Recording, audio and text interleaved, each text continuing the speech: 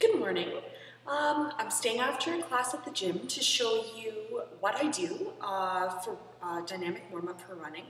I received some questions last week regarding um, on my shin splint post. Some of you were concerned about the warming up and whether it was important for running.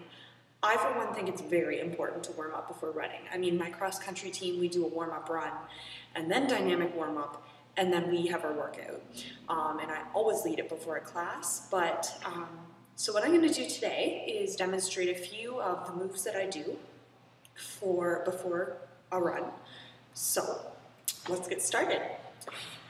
There's something simple called A's and B's. It just means forward and backward. So for A's, let me demonstrate here.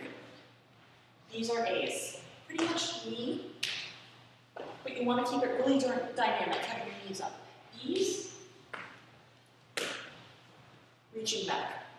Uh, now you can make that more dynamic by doing high knees, and then by running backwards. Just as a side, running backwards is a very, very important uh, routine for a runner to get into. Um, it's a really great way to work the back side of the body because you're, you're moving forward so often. It's a really great way to prevent injury. Now, now that you've warmed up a little bit on your forward and backwards planes, you need to move a little bit on your lateral plane. So, I mean, you could hold on to something. I'm not close enough to the mirror to do that, but grab a hold of something and just do a leg swing just to get that hip opened up. And of course, repeat on both sides. You can do a lunge.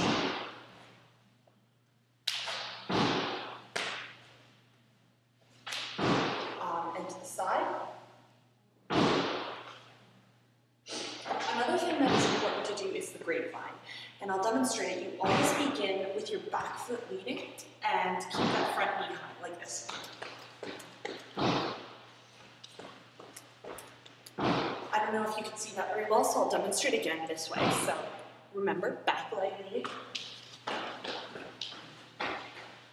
And then bring it back. Make sure you're really twisting the entire body because uh, helps loosen up everything and get you ready to run. So at this point, I think you're ready to run. Um, I mean, you can always do sideways jumps, but just make it really dynamic. Just find really great ways to bring in the stretches. Maybe some ankle rolls, but other than that, I think you're ready. Good luck and happy running.